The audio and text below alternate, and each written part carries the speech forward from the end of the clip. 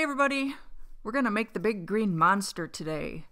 Uh, my friend Jason gave me a really big hunk of black walnut back in October. Um, I sawed it in half, and you can see I did a really lousy job um, as far as chainsawing it. I think that it pushed the limits of my of my chainsaw. So um, I used some smaller Forstner bits to make so, sort of a flat spot, and then used a three inch Forstner bit to make a spot for my um, faceplate. And then I just threw the level on it to see if I was going to get it kind of even. I'm trying to balance the sapwood out a little bit. Since this is such a huge piece, the first thing I'm going to do is change the um, pulleys around on my lathe to put it in the lower um, gear setting so that I have some more torque. Um, I think that this is about 16 inches or so after I whacked a little bit off the ends to make it clear. Um, it's really out of balance. I didn't really do anything except knock the corners off, and um, it it beats the tar out of me here uh, until I get it round. There's an awful lot of material to get through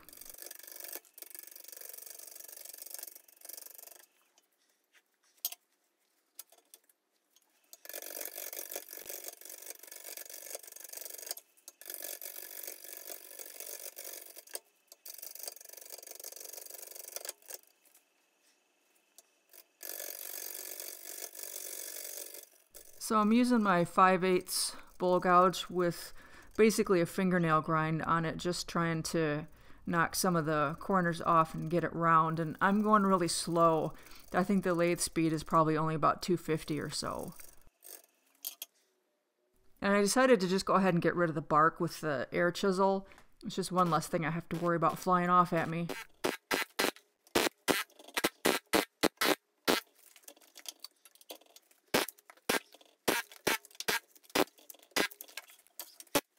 When I'm roughing something out, especially something that's really pretty out of round, I really like to do that little pivot cut.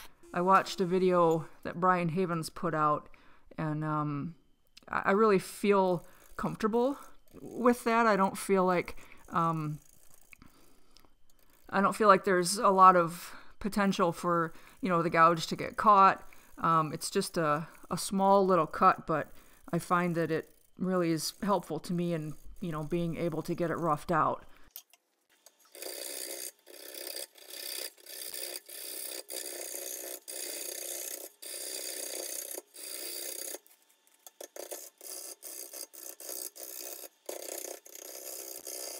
And then when I get it close, I'll go ahead and do a push cut. I think that I've, yeah, here I've switched to my half inch 40-40 uh, gouge.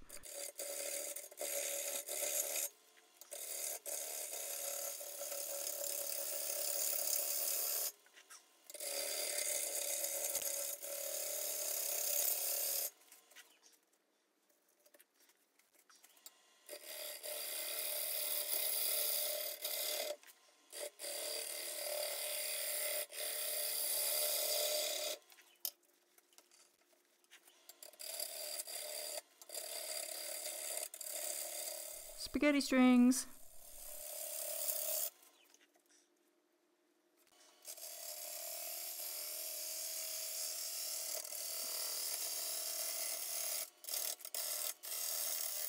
The front edge is still really rough um, because I, I did such a poor job with the chainsaw. I've got a couple of different levels on the front, so um, I'm just going to kind of leave those until later.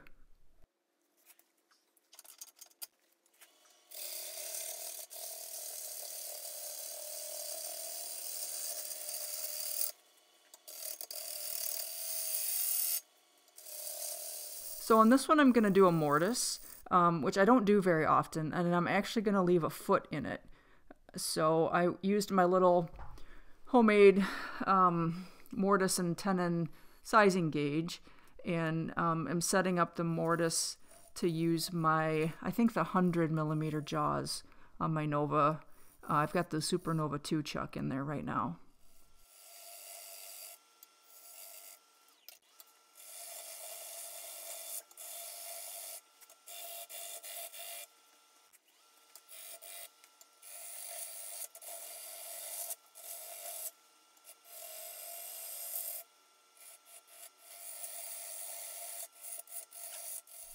I didn't think to put the moisture meter in it before I started. I wish that I had, although I suppose I could go test the other half. But you can see um, when I'm cutting that it's wet, and then it and then it dries pretty quickly. Um, it moved around kind of a lot as I'm um, as I'm working on it.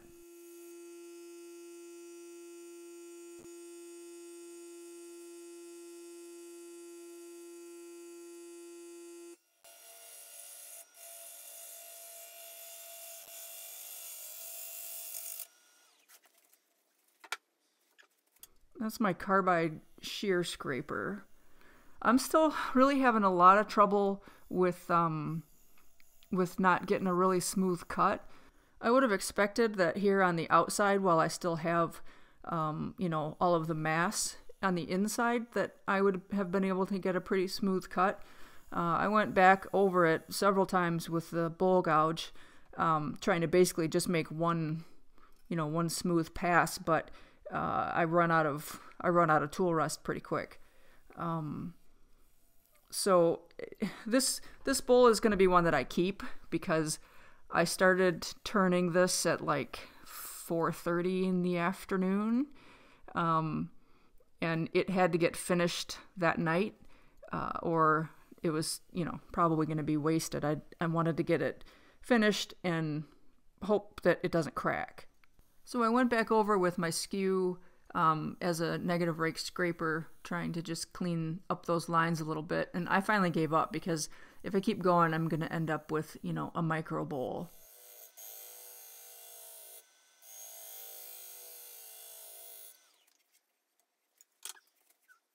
And I decided I was just going to put a couple of little decorative grooves in there, partially to see what they're going to do uh, as they dry. You can see what a mess I've got going on the face of this. You guys may not have been able to see it on the sped up video, but when I brought the tailstock up, it sat funny, and so when I turned the lathe on, it was making the um, the tail center kind of go in a not completely concentric, so I backed it off and made a nice flat spot.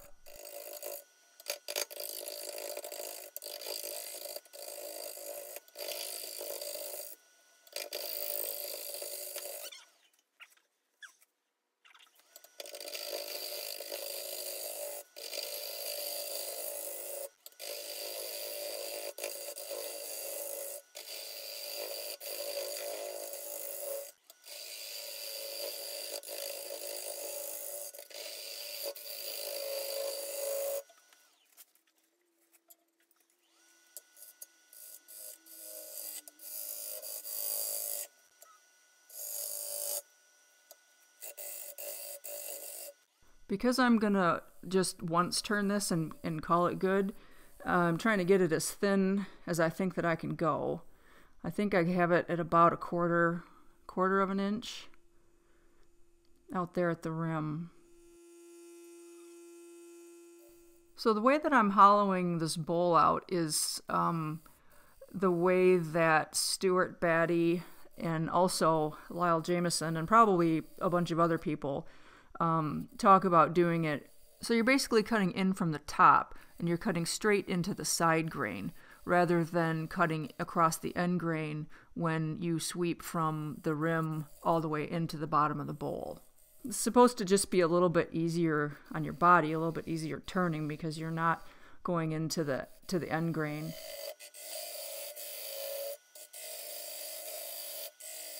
Um, so I pretty much do that through this whole process.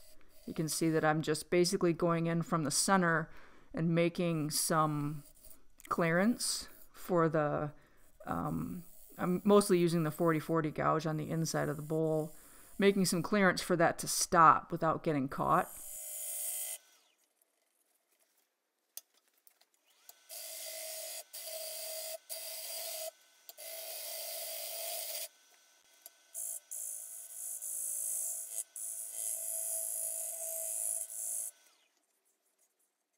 And you can see how wet this is. Every part that I expose is dark, and then within not too long, it's pretty much dried out.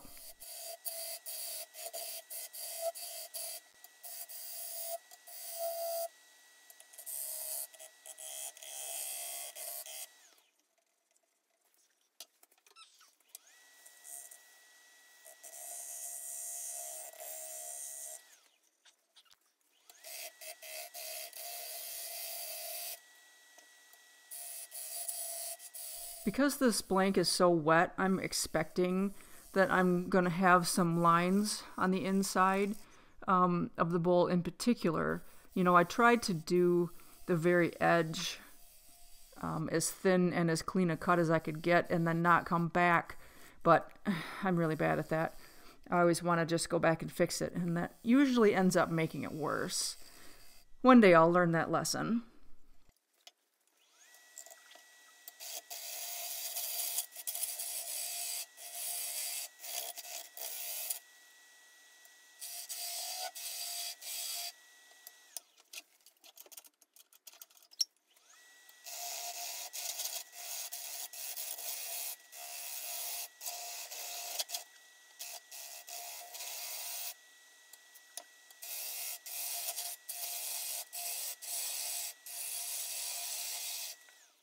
It's really kind of crazy watching the color change where I cut, how dark it goes.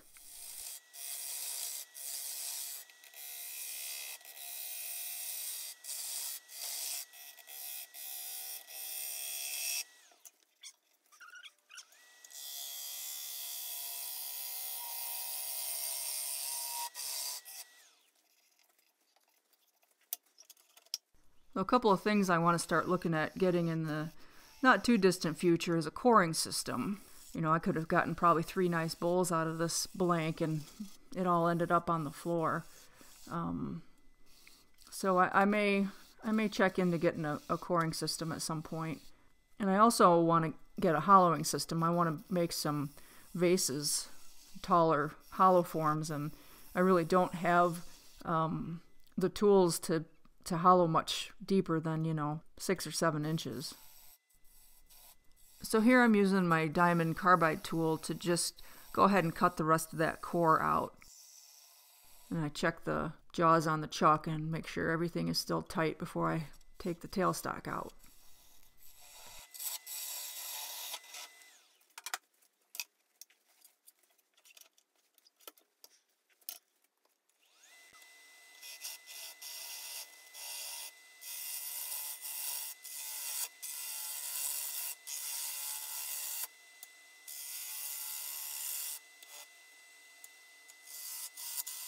I did a reasonably good job of getting it even as far as thickness goes. I just have a really lousy surface left from tool marks and um, you know the the bowl kind of moving around as I'm as I'm working on it.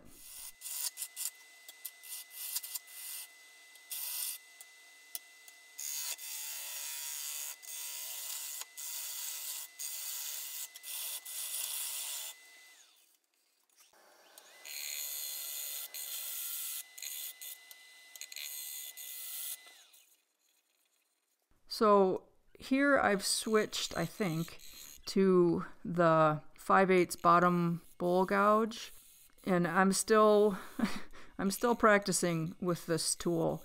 The um, the bevel angle is very different than any of the other tools that I have and uh, I'm getting better. I, I do end up with a pretty nice flat bottom.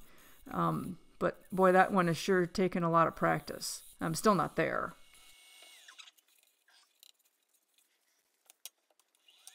Something else that I've realized as I'm watching my own videos back um, is that I think that my lathe is a little bit too tall for me. Uh, when we set it up, one of the um, holes that the leveling feet go into, there was a burr or something, and I, I should have gotten a tap and and cleaned it up. Um, so leveling this thing was kind of a nightmare. One of the one of the feet was really um, not much fun. And I think that if it were probably just sitting on the floor, that it would be a little bit better height for me. I'm noticing that um, on all of my tools, but it's really most uh, of an issue, I guess, with the carbides, that everything is basically on an uphill angle. So my cutting edge on my carbides is not really horizontal. Uh, so that's probably not helping me with my you know, the smoothness of my cuts.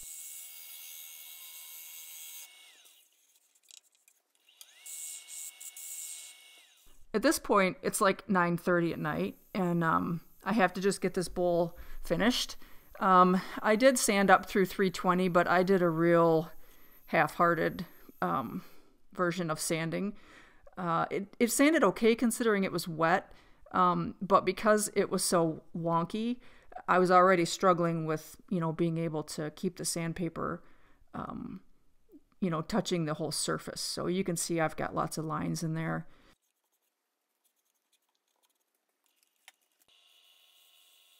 I'm using the Brad's finishing products here. This is the uh, abrasive paste, and then um, I'm going to use the tung wax.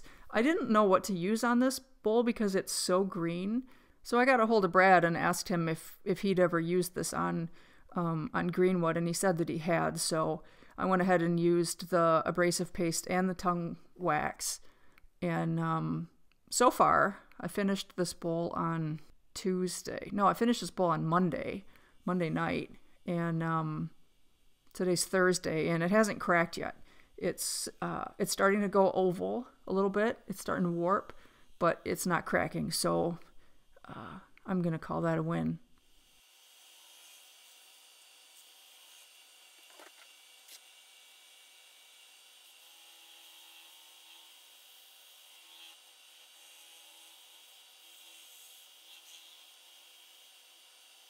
I forgot to mention when I put it, turned it around and put it in the chuck, the mortise had already warped so that it wasn't a perfect circle, which was a little bit of a bummer.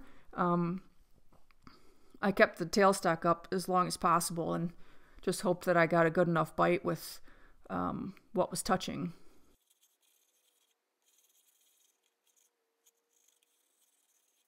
I don't know if you can see it, but I have on my official life member of the Woodturners Funnel Club shirt, which I got earlier this week. I'm very excited about it.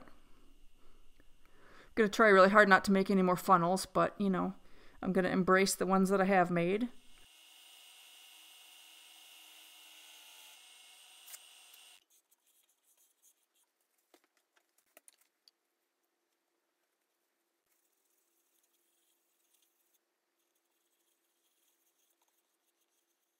You can kind of see that it's already pretty wonky, so even doing the finishing process and trying to keep the pressure on it to melt the wax was um, a little bit tricky.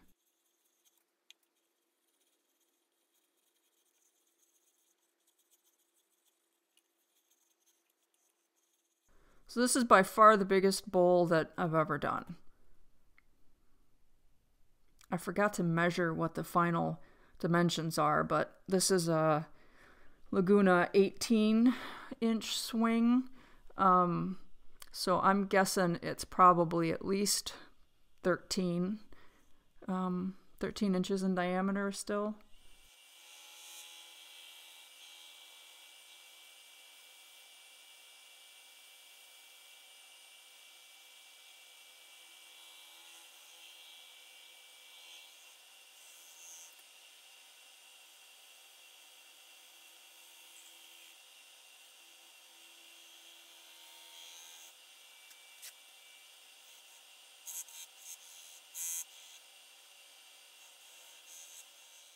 And because I didn't know exactly what's going to happen, um, I didn't bother doing anything to the bottom. I didn't sand it or anything. All I did was coat it in some shellac to see if I could keep it from cracking.